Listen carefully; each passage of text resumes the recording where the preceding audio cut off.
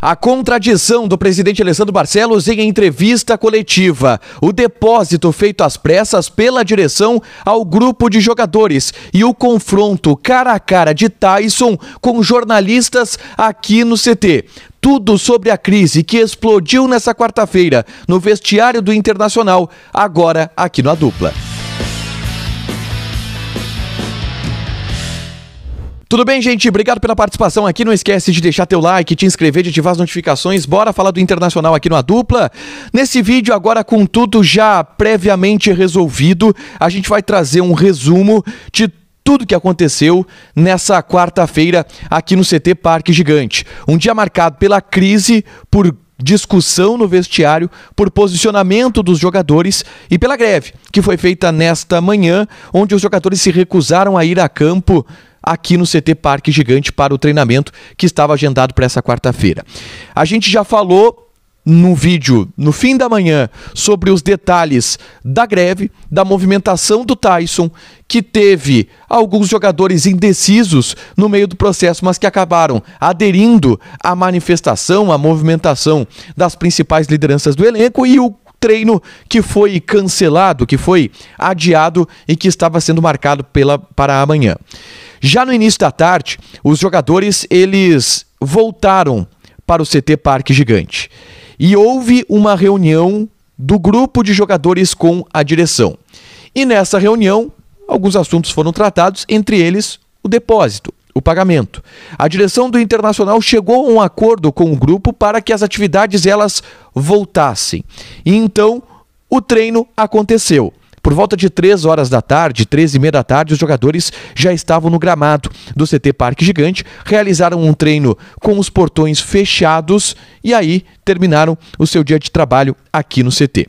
Mas existem muitos bastidores que foram descobertos por trás dessa movimentação que eu vou trazer aqui para vocês e muitos bastidores do que aconteceu, por exemplo, até de maneira pública, como por exemplo o Tyson encarando alguns jornalistas, confrontando alguns jornalistas, como por exemplo a entrevista coletiva do presidente Alessandro Barcelos, que foi a única pessoa do Internacional que se manifestou ao longo do dia de hoje.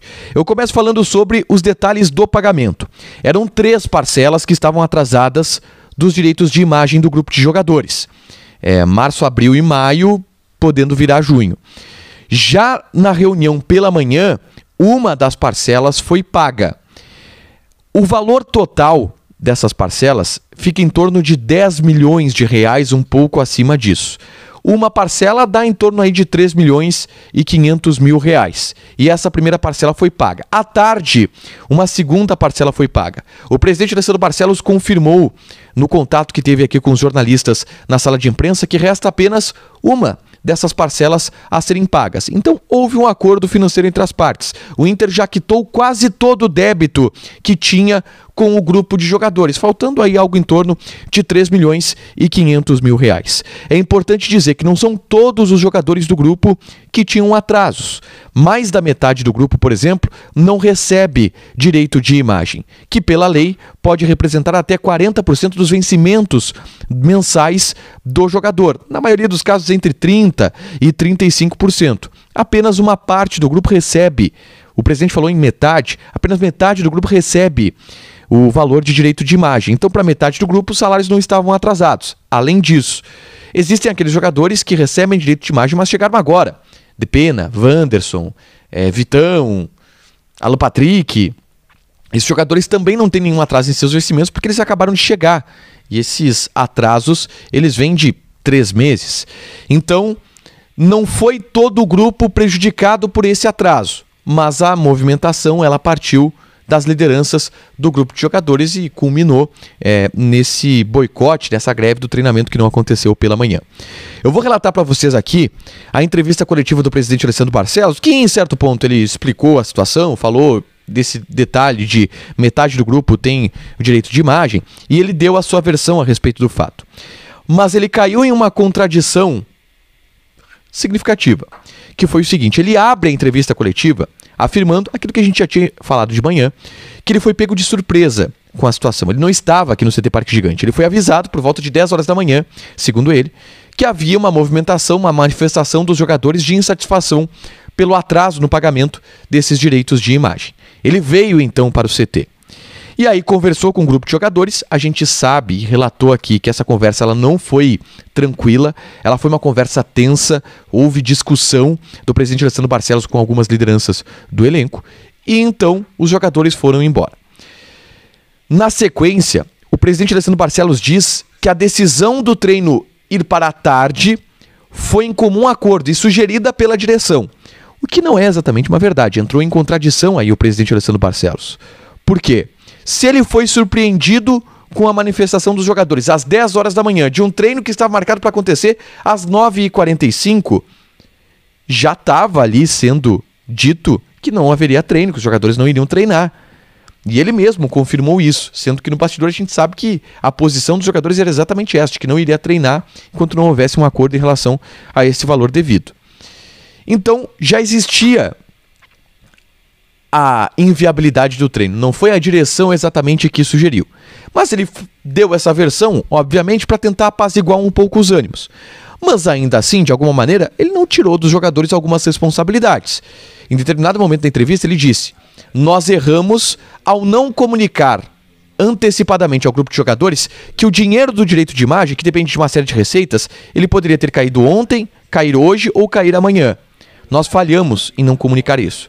Mas também, se os jogadores tivessem nos procurado para conversar sobre o assunto antes de uma posição mais drástica, isso não teria acontecido. Quando ele se refere a isso, é toda essa polêmica envolvendo o não treino, a não realização do treino hoje pela manhã. Então ele coloca alguma parte das responsabilidades também em cima do grupo de jogadores. Vou citar o outro episódio da tarde aqui no CT, que foi o confronto do Tyson com os jornalistas aqui na sala de imprensa. Para vocês entenderem, é, aqui na sala de imprensa, que é onde eu estou agora, é onde a gente fica normalmente. Mas era por volta de 1h40 da tarde, os jogadores estavam chegando para essa reunião. Então a notícia estava do lado de fora.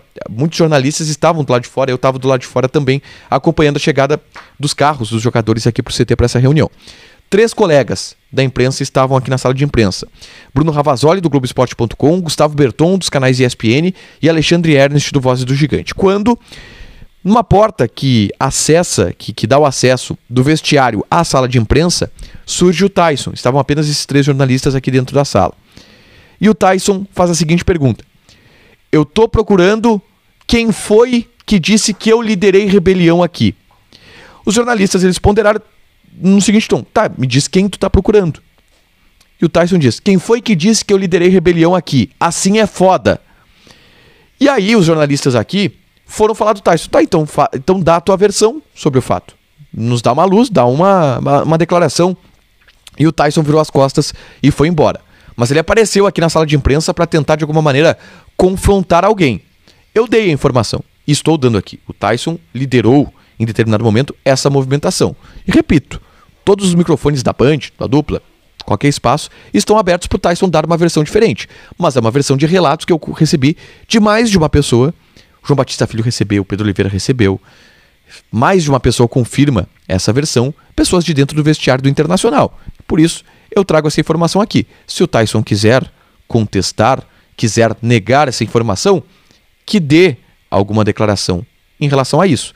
Não acho que vá dar, porque não foi verdade. Ele participou desse movimento, mas ele tentou de alguma maneira confrontar os jornalistas por aqui. O treino aconteceu no CT Parque Gigante, devem acontecer treinos fechados até não se sabe aonde, pelo ambiente aqui. E agora a gente aguarda, principalmente para saber como que vai ser o ambiente em Atibaia, onde o Inter encara no domingo. Aliás, o Inter encara em Bragança Paulista, mas se concentra antes em Atibaia, porque no domingo o Inter enfrenta o Bragantino pelo Campeonato Brasileiro. O resumo de tudo que aconteceu aqui uma grande crise que eclodiu, implodiu o vestiário do CT Parque Gigante. Deixa teu like, te inscreve e ativa as notificações. Beijo!